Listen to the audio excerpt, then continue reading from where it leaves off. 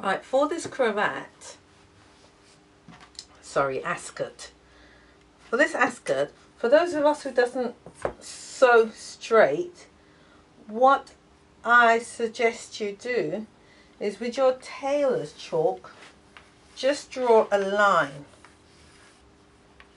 on your fabric so that you can get a nice sharp finish.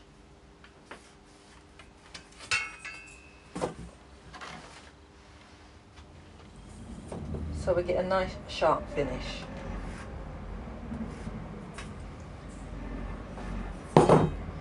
On my main fabric, I'm using a stretchy fabric uh, for the one that I showed you that I'm cutting out.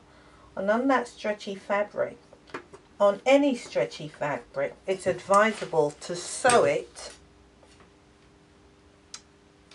to sew it on the from the interlining because it stretches out while you sew. Let's just measure that. Right. So that's a little little tip. Right, so I'm going to move this away to my sewing machine and I'm going to sew all the way around. But what I'm going to do is I'm going to leave a little bit open. I'm going to sew from here, go all the way round, all the way round, and I'm going to stop and I'm going to leave a little gap in between so that I can bag the whole thing out.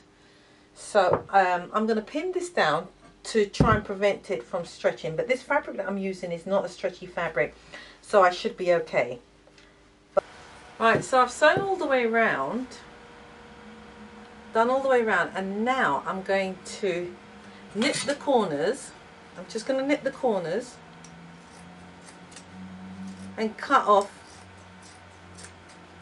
excess fabric. nip the corners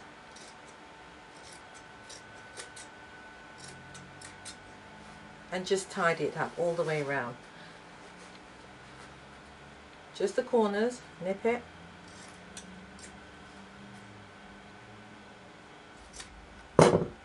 And then there's the interlining. So this is a reversible ascot. And I've left a hole, just a little hole. You choose where to leave it. And then I'm going to bag the whole thing through it. Turn it inside out. Now I wouldn't be surprised if you're at the shop and this is going to cost you around 20 odd pound to buy one of these. 15 to 20 odd pound depending on the fabric for your occasion. And normally these things are worn at um, weddings.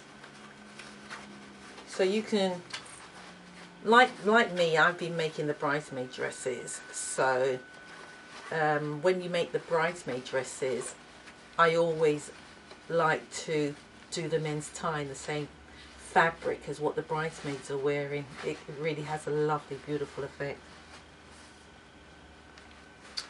So there we go. We've turned this inside out and you can see it, takes, it doesn't take long to just stitch round and round and round and round in circle to give you a cravats.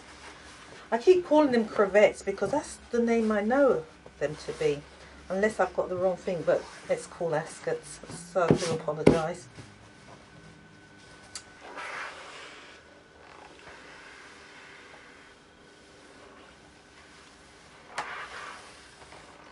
as you can see so far um, on this occasion I'll leave it. So what I'm going to do now is I'm finding the centre there's the centre so I've marked it. And then what I'm doing because we're going to stitch on top I folded it again say two and a half inches in. So we've got the center and then I folded two and a half inches in and I've ironed it to mark it and then what we're going to do now is the side where the wadding is is going to be my right side and the reversible lining is the wrong side so if you just have a feel to feel where you've put it. So I've put the interlining that side.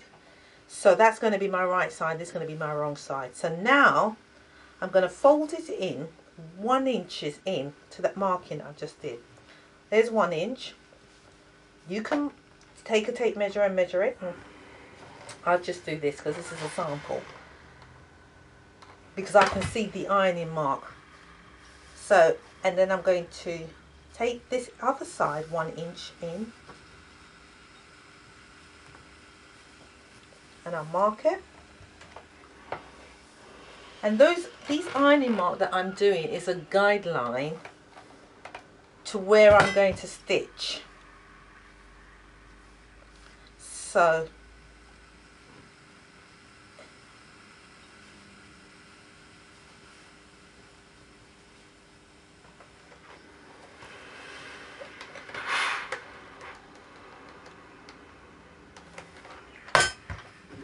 Can you see that? So I'm going to use, I'm going to stitch this in now and then I'm going to come back and show you.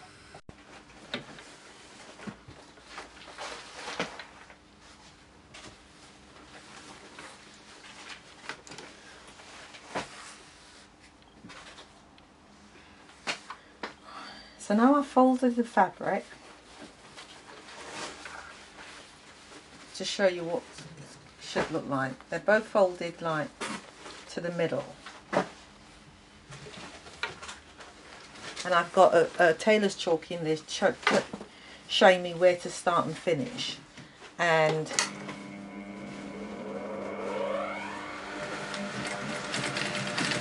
I'm just doing a half an inch seam.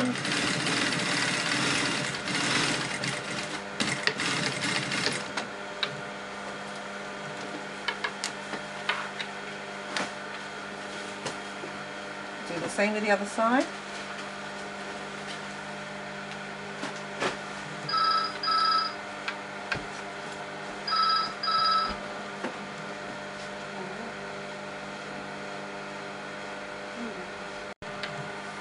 And then I've done the other side. You just repeat the other side. And then you turn it around.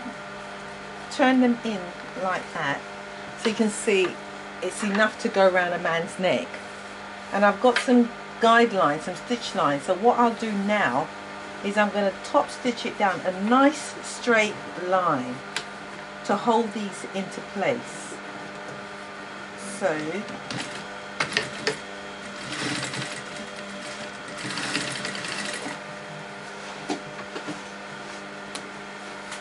I've already put markings there in tailor's chalk so I know where I'm going.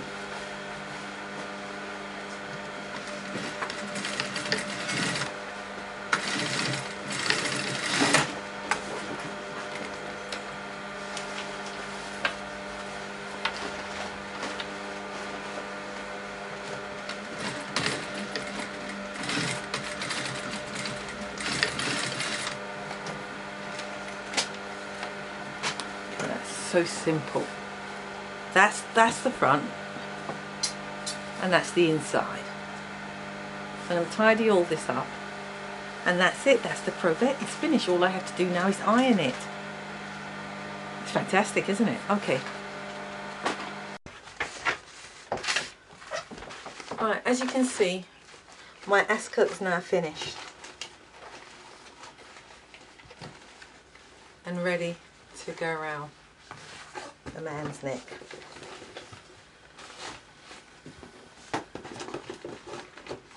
That's the inside and that's the outside.